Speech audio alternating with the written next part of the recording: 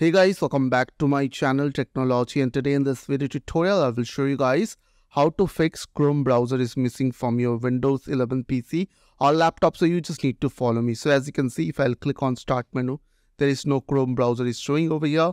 So what you have to do you just need to search over here Chrome you just need to type over here, over here Chrome.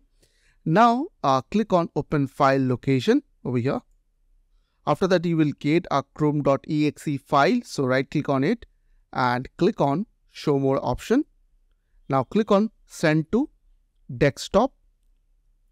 So this will create a shortcut of your Chrome browser. So now I'll rename this one.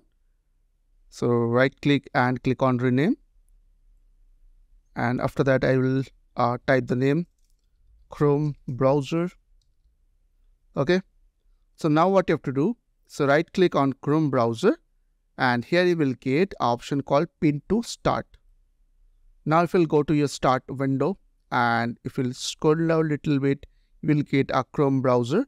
So you can easily drag drop over here. So now easily you can open your Chrome browser so I hope this tutorial really helped for you and please don't forget to click on the subscribe button, like button and share button. And if you have any questions or questions then comments down below. I will see you guys in the next one next video. Till then bye bye take care.